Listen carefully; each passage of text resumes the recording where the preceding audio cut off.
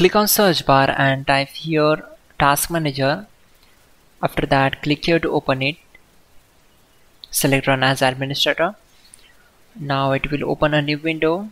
Then select file click on run new task. And from here click on browse button.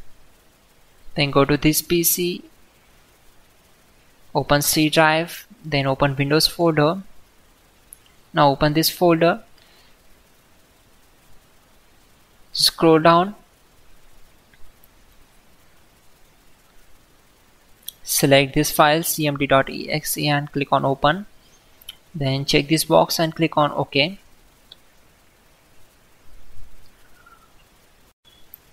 To avoid mistakes we already have list of commands to make it easy for you.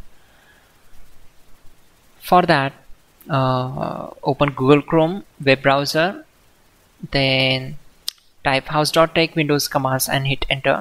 From now click on this link which is from www.hows.tech now just scroll down and then copy command number 12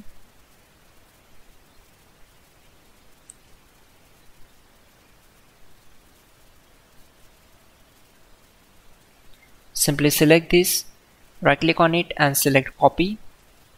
Now right click on command prompt to paste that command and hit enter.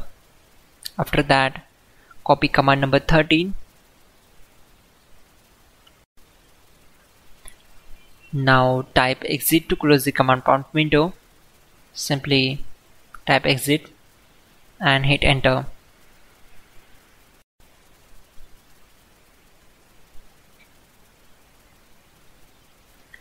click on search icon. Then in the search bar type view advanced system settings and click here to open it. It will open system properties. Then click on settings. On this window select advanced tab. Then click on change. And check this option and just follow my screen. Select set. Then click on ok. Now click on ok apply the changes and close windows one by one. You can restart your system then go to search bar and type cmd run as administrator.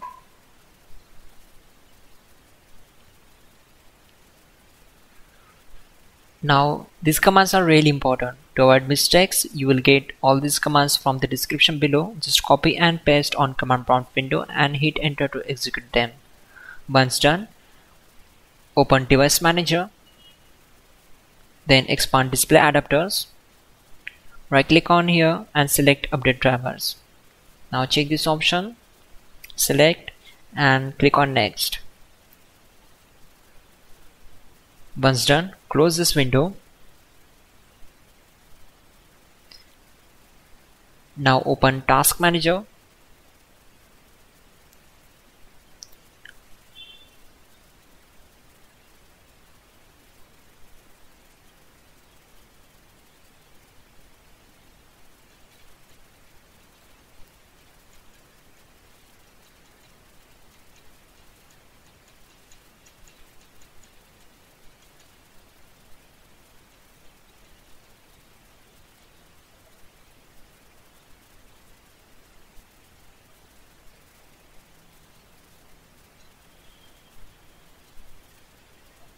Finally, restart the system, which is very important.